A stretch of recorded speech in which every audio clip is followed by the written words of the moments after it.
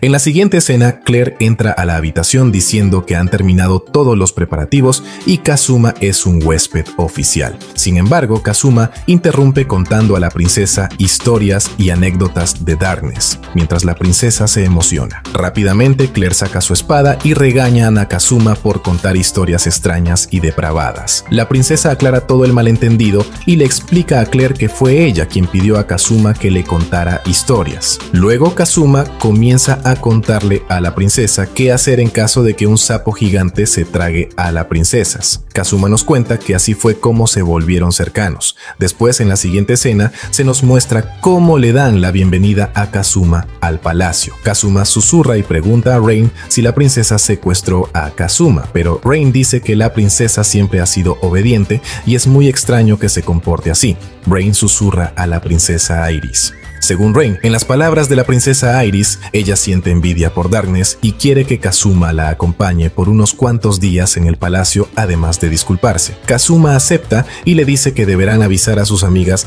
que Kazuma se quedará en el palacio. Kazuma le cuenta sobre sus épocas de estudiante. Kazuma nos cuenta que a la princesa le interesa la época de estudiante de Kazuma y además envidia todo lo que vivió Kazuma. Kazuma le pregunta a la princesa por qué no funda una escuela, pero inesperadamente suena una alerta de ataque del rey demonio y solicitan a todos los aventureros o personas que tienen un rango nivel alto para que puedan ayudar a los demás y vencer al ejército del rey demonio. En resumen, el ejército está atacando. La princesa dice que no puede fundar una escuela, ya que las cosas como están ahora no se podrá. En resumen, el ejército del rey demonio está atacando y por esa razón no puede construir una escuela, etc.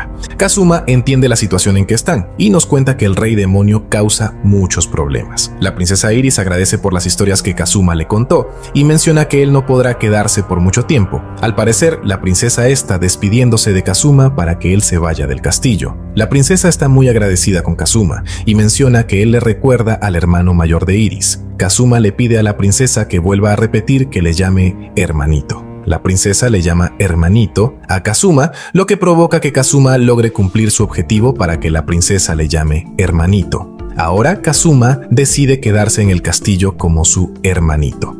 Kazuma despierta y vuelve a hacer lo suyo una vez más. La princesa Iris le empieza a llamar hermanito a Kazuma, pero Kazuma se levanta de la cama y empiezan los problemas. Al parecer, Iris y Kazuma discuten mientras la princesa está sonrojada. Desde ese día la princesa dejó de llamarle hermanito a Kazuma. Kazuma nos cuenta que cuando Iris estaba ocupada, él hacía travesuras e interrumpía las clases de la princesa para divertirse y saludarla, además de pasar momentos juntos con ella. De vez en cuando, la princesa suele pedirle cosas y favores a Kazuma con mucha timidez. Esto se debe a que Rain le pide a Iris que deberá comportarse como una princesa.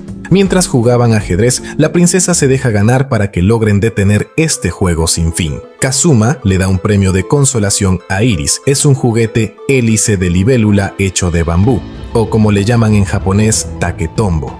En la mañana siguiente, Kazuma hace sus ridiculeces pero inesperadamente entran las compañeras de Kazuma y le reclaman y humillan. Kazuma pregunta a sus compañeras por qué están aquí. Sus compañeras responden que están aquí para llevarse a la mansión, en resumen, a la casa, ya que Megumin no puede dormir estando preocupada por Kazuma. Aqua dice que no es justo que Kazuma esté viviendo en el castillo, ya que no fue el único que derrotó a los generales del rey demonio y reclama que todos deberían vivir en el castillo también. La princesa aparece y escucha todo. Darkness le pide que deje ir a Kazuma, ya que el pueblo Axel extraña y agradece a Kazuma por todo lo que ha hecho. La princesa acepta, así que decide organizar una fiesta de despedida para Kazuma. En la fiesta, Megumin y Aqua están disfrutando de la comida, aprovechándose de la fiesta para comer todo lo que quieran. Mientras tanto, Darkness es la soltera cotizada y deseada por todos los nobles, pidiendo la mano a Darkness para un matrimonio. Inesperadamente aparece Alderp Alexei Barnes diciendo que existe un hombre adecuado para Darkness para un matrimonio, y es el príncipe Yátice, ya que ambos derrotaron a los generales del rey demonio y el príncipe Játice es poseedor de una espada sagrada y el héroe de todo el reino.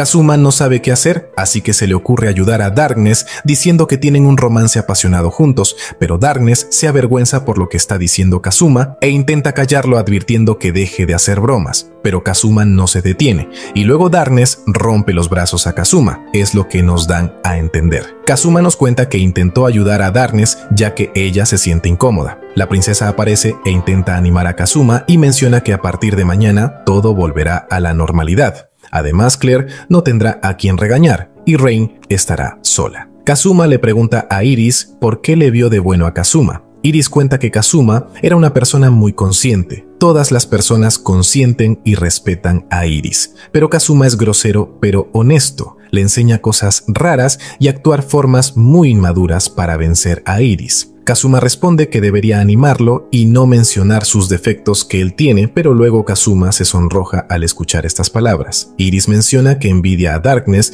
y extrañará a Kazuma. Además, Iris menciona que quiere convertirse en una aventurera y menciona en forma de broma de convertirse en una ladrona de la que todos hablan. Kazuma pregunta por la ladrona. Iris responde que hay un ladrón que roba a los nobles que son malos y que tienen una horrible reputación para luego donar a los más necesitados y pobres en el nombre de la secta diosa Eris. Después de escuchar y enterarse del ladrón, se alegra, así que rápidamente les dice a los demás que él atrapará al ladrón y piensa usar esa para quedarse en el palacio mientras flojea, pero los nobles animan se burlan de Kazuma. Claire acepta la propuesta y dice que Kazuma y su grupo se quedarán en las casas o mansiones de los nobles en las que serán robados para atrapar al ladrón. Al parecer, no salió como quiso Kazuma. En la siguiente escena, nuestros protagonistas se quedarán en la mansión o casa de Alderp Alexei Barnes para cumplir con su misión, pero Kazuma dice que renuncia y no era como lo esperaba. Así termina este resumen. Espero que les haya gustado este resumen.